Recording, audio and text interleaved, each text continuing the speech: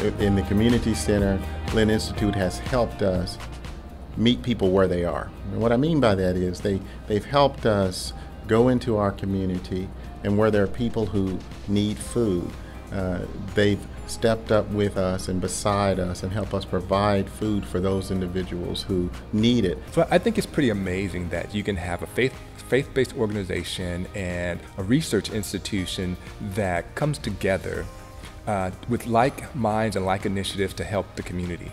Over the last three years at the Metrotech Spring Lake campus, we've had an opportunity to be able to partner with Lynn Institute and being able to distribute um, food. And they have stayed engaged, they have stayed consistent. I think they continue to work on cultural competency, engaging with a community with the community's best interests in mind.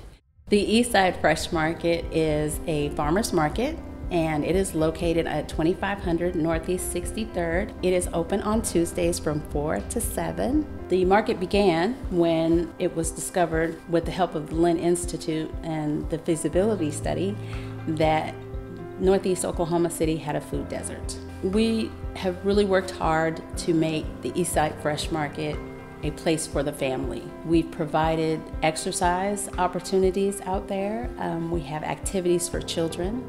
We also have the SNAP program so that anyone who is utilizing EBT can come on out and purchase food.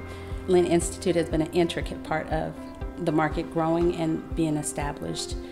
On the Road to Health is a program um, provided by the Lynn Institute, and it is focused on uh, three educational components, which is nutrition, exercise, and signs of hope. So here at South Walker Church of Christ, uh, hosting the On the Road to Health seminar has been great for us. Again, to meet new people, it's been a great way to say to our community, we care about you. Uh, this Institute is offering this free. Uh, we're making it free in our building. It's certainly consistent with our values of just wanting people to have a good, abundant life. I participated in Lynn Institute's On the Road to Health program. It really is life changing. I learned how to cook with my processed and prepared vegetables that I never would even look at in the grocery store. I love beets, but I've never processed a beet until on the road to health and then I made that beet stew and it was so delicious. Even my children loved it. They were like, "Mom, every week, "Mom, what what recipe are you to do today?" They just they got so excited about it. It's a great thing. And then the health checks.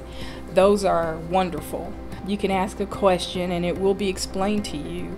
They want you to understand exactly what's going on. And so Integris and the, the Lynn Institute have come together to uh, provide kind of a, a, neat partnership with the On the Road to Health pro, uh, program. We provide biometric screenings um, at the beginning of the uh, program and at the end of the program. So this gives the participants a, a, way for them to identify goals and then throughout the program learn about uh, the different areas from nutrition, physical activity, and um, the hope um, that, that uh, they are able to not only then learn from that and then see their, their improvement at the end of the program. And, and we're able to provide them with the necessary health resources and referrals um, going forward.